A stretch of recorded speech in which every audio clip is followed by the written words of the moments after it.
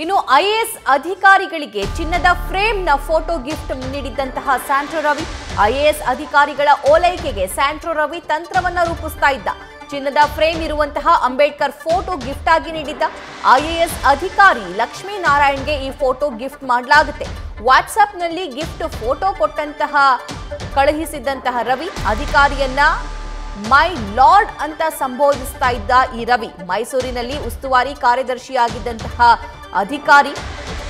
So ಈ ಅಧಿಕಾರಿಗೆ ಚಿನ್ನದ ಫೋಟೋ ಫ್ರೇಮ್ ಅನ್ನ ಗಿಫ್ಟ್ ಆಗಿ ನೀಡಿದ್ದಂತೆ ಈ ಸ್ಯಾಂಟ್ರೋ ರವಿ. ಡೀಟೇಲ್ಸ್ ನೀಡ್ತಾರೆ ನಮ್ಮ ಪ್ರತಿನಿಧಿ ರವಿ ಪಾಂಡವಪುರ. ರವಿ, ಈ ಸ್ಯಾಂಟ್ರೋ ಏನಿದ್ದಾನೆ ಈತ ಬೇರೆ ಬೇರೆ ಅಧಿಕಾರಿಗಳಿಗೆ ಅಥವಾ ಬೇರೆ ಬೇರೆ ರಾಜಕಾರಣಿಗಳಿಗೆ ತನ್ನತ್ತ ಸೆಳೆಯೋದಕ್ಕೋಸ್ಕರ ತನ್ನ ಜೊತೆ ಕ್ಲೋಸ್ ಇದ್ದಾರೆ ಅಂತ ತೋರಿಸ್ಕೊಳ್ಳೋಕ್ಕೋಸ್ಕರ ಬೇರೆ ಬೇರೆ ತಂತ್ರವನ್ನು ಕೂಡ ಹೆಣಿತಾ ಇದ್ದ. ಅದರಲ್ಲಿ ಮತ್ತೊಂದು ಪ್ರಮುಖವಾಗಿರುವಂತ ಅಂಶ ಇದೀಗ ಬೆಳಕಿಗೆ ಬರ್ತಾ ಇದೆ. ಐ ಎ ಎಸ್ ಅಧಿಕಾರಿ ಏನು ಖರ್ಚು ಮಾಡದೆ? ಅವ್ರ ಅಡುಗೆ ಮನೆಯಿಂದನೇ ಹೋಮ್ ಬೇಕರಿ ಬಿಸ್ನೆಸ್ ಶುರು ಮಾಡಿ ತಿಂಗಳಿಗೆ ನಲ್ವತ್ತು ಸಾವಿರ ಸಂಪಾದನೆ ಮಾಡ್ತಾರೆ. ನೀವು ಮಾಡಬೇಕಾ? ಫ್ರೀಡಮ್ ಆ್ಯಪನ್ನು ಈಗಲೇ ಡೌನ್ಲೋಡ್ ಮಾಡಿ. ಅವರಿಗೆ ಚಿನ್ನದ ಫೋಟೋ ಫ್ರೇಮ್ ಕೊಟ್ಟಂತಹ ಪ್ರಕರಣ. ಯಾವಾಗಿಂದಿದು ಘಟನೆ? ಸೊ ಏನ್ ಅಪ್ಡೇಟ್ಸ್ ಇದೆ ಈ ಬಗ್ಗೆ? ಸಭಾ ಪ್ರಮುಖವಾಗಿ ಸ್ಯಾಂಟ್ರೋ ರವಿ, ಹಿರಿಯ ಐ ಎ ಎಸ್ ಅಧಿಕಾರಿಗಳು ಐ ಪಿ ಎಸ್ ಅಧಿಕಾರಿಗಳು ಜೊತೆಗೆ ಜೊತೆಗೆ ರಾಜಕಾರಣಿಗಳನ್ನ ಬುಟ್ಟಿಗೆ ಹಾಕಿಕೊಳ್ಳಿಕ್ಕೆ ಬೇರೆ ಬೇರೆ ತಂತ್ರಗಳನ್ನು ಉಪಯೋಗಿಸಿದ್ದ ತನ್ನ ವಾಟ್ಸಪ್ ಡಿ ಪಿ ಹಾಗೂ ಸ್ಟೇಟಸ್ಗಳಲ್ಲಿ ಚಂದದ ಹುಡುಗಿಯರ ಫೋಟೋಗಳು, ಐಷಾರಾಮಿ ಕಾರುಗಳು, ಬೆಳೆ ಬಾಳುವಂತಹ ಗಿಫ್ಟ್, ಗಿಫ್ಟ್ಗಳು ಜೊತೆ ಜೊತೆಗೆ ವಾಚ್ಗಳನ್ನು ಇಟ್ಟು ಅವರನ್ನ ಸೆಳೆಯುವಂತಹ ಕೆಲಸಕ್ಕೆ ಮುಂದಾಗ್ತಿದ್ದ. ಜೊತೆಗೆ ಅವರ ವರ್ಗಾವಣೆ ದಂಧೆಯಲ್ಲೂ ಕೂಡ ಈತ ಪ್ರಮುಖ ಪಾತ್ರವನ್ನು ವಹಿಸ್ತಿದ್ದ. ಈ ನಡುವೆ ಈಗ ಮೈಸೂರಿನಲ್ಲಿ ಕಾರ್ಯದರ್ಶಿಯಾಗಿದ್ದಂತಹ ಲಕ್ಷ್ಮೀನಾರಾಯಣ್ ಅವರಿಗೆ ಅಂಬೇಡ್ಕರ್ ಅವರ ಫೋಟೋದ ಚಿನ್ನದ ಫ್ರೇಮನ್ನು ನೀಡಿದ್ದಾನೆ ಎಂದ ಎಂಬ ಮಾತುಗಳು, ಈಗ ಅಂಶಗಳು ಬೆಳಕಿಗೆ ಬರ್ತಿವೆ. ಆ ಒಂದು ಫೋಟೋ ವಾಟ್ಸಪ್ ಡಿ ಪಿಯಲ್ಲಿದೆ ಆ ಒಂದು ಫೋಟೋವನ್ನು ತೆಗೆದು ಆತ ಅವರಿಗೆ ಕಳಿಸುವಂಥ ಕೆಲಸ ಕೆಲಸದಲ್ಲಿ ನಿರತರಾಗಿದ್ದಾರೆ.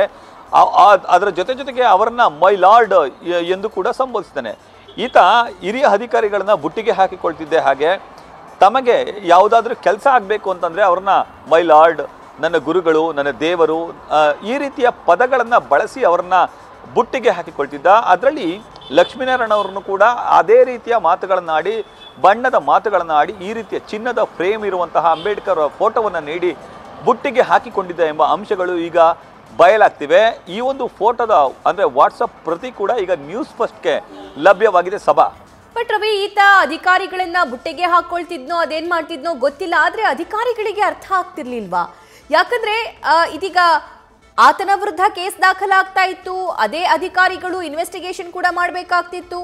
ಸೊ ಇಂಥ ಸಂದರ್ಭದಲ್ಲಿ ಅದೇ ಇಲಾಖೆಗಳಲ್ಲಿ ಕೆಲಸ ಮಾಡುವ ಸೀನಿಯರ್ ಅಧಿಕಾರಿಗಳು ಈತನ ಜೊತೆ ಇಷ್ಟೊಂದು ಕ್ಲೋಸ್ ಆಗಿದ್ರು ಅಂತಂದ್ರೆ, ಬೇರೆ ಅಧಿಕಾರಿಗಳಿಗೆ ಕೆಲಸ ಮಾಡೋಕ್ಕಾದ್ರೂ ಹೇಗಾಗುತ್ತೆ ರವಿ? ಸಭಾ, ಖಂಡಿತವಾಗ್ಲೂ ಸಭಾ. ಈತನನ್ನ ಕಂಡರೆ ಒಂದೆಡೆ ಭಯ, ಮತ್ತೊಂದೆಡೆ ಇದೇ ರೀತಿಯ ಆತಂಕ ಜೊತೆ ಜೊತೆಗೆ ತಮ್ಮ ಕೆಲಸ ಸಗ, ಸುಗಮವಾಗಿ ಆಗ್ತವೆ ಎಂಬ ಮಾತು. ಒಂದು ಭಯ ಯಾಕೆ ಅಂತ ಅಂದರೆ ಹಿಂದೆ ಮೈಸೂರಿನಲ್ಲಿದ್ದಂತಹ ಪೊಲೀಸ್ ಅಧಿಕಾರಿಗಳಿಗೆ ಮತ್ತು ಸಿಬ್ಬಂದಿಗಳಿಗೆ ಈತ ಕಿರುಕುಳ ಕೊಟ್ಟಿದ್ದ. ಅದ್ರ ಜೊತೆ ಜೊತೆಗೆ ಬೆಂಗಳೂರಿನಲ್ಲಿರುವಂತಹ ಎ ಸಿ ಪಿ ಒಬ್ಬರಿಗೆ ಸಂಭಾಷಣೆ ನಡೆಸುವಂಥ ಸಂದರ್ಭದಲ್ಲಿ ಏರು ಧ್ವನಿಯಲ್ಲಿ ಮಾತನಾಡಿದ್ದ. ಆ ಸಂದರ್ಭದಲ್ಲಿ ಮಾತನಾಡಿದ್ದನ್ನೇ ಇಟ್ಕೊಂಡು ಮಾನವ ಹಕ್ಕು ಆಯೋಗದಲ್ಲಿ ಕೇಸನ್ನು ದಾಖಲಿಸಿ ಅವರಿಗೆ ಚಿತ್ರಹಿಂಸೆ ನೀಡುವಂಥ ಕೆಲಸಕ್ಕೆ ಮುಂದಾಗಿದ್ದ. ಇದರ ಜೊತೆ ಜೊತೆಗೆ ಐ ಮತ್ತು ಐ ಪಿ ಅಧಿಕಾರಿಗಳ ಜೊತೆ ಫೋಟೋವನ್ನು ಕ್ಲಿಕ್ಕಿಸಿಕೊಂಡು ವಾಟ್ಸಪ್ ಡಿ ಪಿಗೆ ಹಾಕೊಳ್ತಿದ್ದ, ರಾಜಕಾರಣಿಗಳ ಜೊತೆ ಸಖ್ಯ ಇರುವ ಕುರಿತಂತೆ ಫೋಟೋಗಳನ್ನ ಹಾಕೊಳ್ತಿದ್ದ.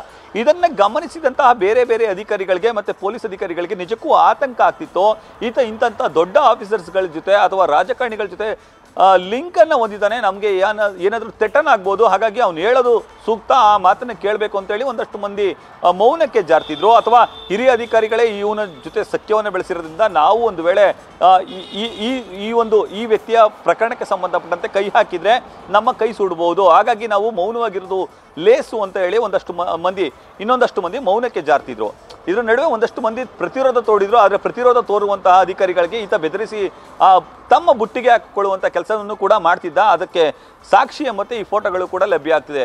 ಈತ ಹಿರಿಯ ಅಧಿಕಾರಿಗಳು ಹಾಗೂ ರಾಜಕಾರಣಿಗಳ ಜೊತೆ ಈ ರೀತಿ ಫೋಟೋಗಳನ್ನು ಹಾಕಿಕೊಂಡೇ. ಸಾಕಷ್ಟು ಡೀಲ್ನ ಕುದುರಿಸಿದ್ದಾನೆ ಎಂಬ ಮಾತುಗಳು ಹಾಗೂ ಆರೋಪಗಳು ಈಗ ಈತನ ವಿರುದ್ಧ ಕೇಳಿ ಬರ್ತಿದೆ. ಸಭಾ. ಧನ್ಯವಾದ ರವಿ ಡೀಟೇಲ್ಸ್ಗಾಗಿ ನ್ಯೂಸ್ ಫಸ್ಟ್ ಪ್ರತಿಕ್ಷಣ ನಿಮ್ಮೊಂದಿಗೆ.